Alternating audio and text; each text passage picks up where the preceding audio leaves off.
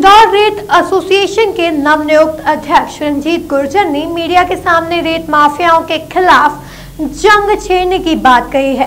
गुर्जर ने माना है कि उन्हीं के बीच कुछ लोग इस कारोबार को अवैध रूप से अंजाम देते हैं, जिससे कि उनके पूरे व्यापारी संघ की बदनामी हो रही है। गुर्जर ने माना है कि उन्हीं के बीच कुछ लोग इस कारोबार को अवैध रूप से अंजाम देते हैं जिससे कि उनके पूरे व्यापारी संघ की बदनामी हो रही है। साथ ही नवनियुक्त अध्यक्ष ने यह भी कहा कि वह प्रशासन के अधिकारियों से निवेदन करेंगे कि ईमानदारी से कार्य करने वालों को ईमानदार घोषित किया जाए, ताकि उन्हें दूसरे के किए कार्यों के कारण बदनामी ना झेलनी पड़े। रेत एसोसिएशन के अध्यक्ष ने मीडिया के सामने कहा कि दो दिन पहले राजेंद्र नगर मंडी में प्रशासन की कार्यवाही हुई। वह कलेक्टर से मुलाकात कर उन्हें बताएँगे कि इस तरह की कार्यवाही कृपया न की जाए और सभी को प्रशासन द्वारा न्याय दिया जाए। वहीं नई रेत मंडी के लिए भी मांग रखी जाएगी। गुर्जर ने कहा कि सीएम का आदेश है कि भू माफियाओं और खनिज माफिया पर कार्यवाही करने की, लेकिन असल रेत माफियाओं को छोड़कर छोटे छोटे व्यापारियों को परेशान किया जा रहा है, जो कि गलत है। नवनियुक्त अध्यक्ष ने कहा कि जल्द ही वह सबको साथ लेकर अधिकारियों से बात करेंगे और पूरे इंदौर ज़िले से व्यापारियों को बुलाकर एक कमेटी भी बनाई जाएगी। साथ ही रेत एसोसिएशन के अध्यक्ष ने इंदौर शहर के तीनों मंत्रियों से भी कई अपेक्षा रखी है। उन्होंने सभी मंत्रियों से बात करने की भी बात कही है।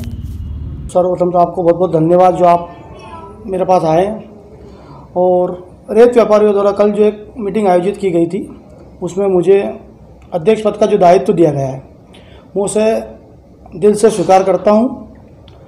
और सर्वप्रथम मेरी ये सब प्रथम मांग ये है कि जो दो दिन पहले राजेंद्र नगर मंडी में गरीब व्यापारियों, जो लोकल व्यापारियों के साथ जो कार्रवाई हुई, वो कार्रवाई आगे ना हो और जो कार्रवाई हुई है, उसमें लोगों को न्याय दिलाना, वो सर्वप्रथम कार्य मेरा रहेगा।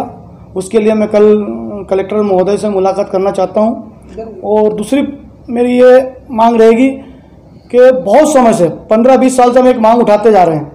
पूर्व अध्यक्ष ने मांग उठाई थी और आज भी हम मांग उठा रहे हैं कि हमारे मंडी रेत मंडी उपलब्ध कराई जाए। जी। और रेत मंडी के लिए मैं बहुत प्रयासरत पहले भी था और अधिकारियों से बहुत सारा अवगत भी कराया बहुत सारी ज़मीनों की बात भी हुई हमें। और हम चाह रहे हैं कि वो चीज़ वापस फिर से हो और रेत व्यापारियों के लिए रेत व्यवस्थित मंडी उपलब्ध कराई जाए कि भू माफिया हो खनिज माफिया हो और अदर्स माफियाओं को पे कार्रवाई करो।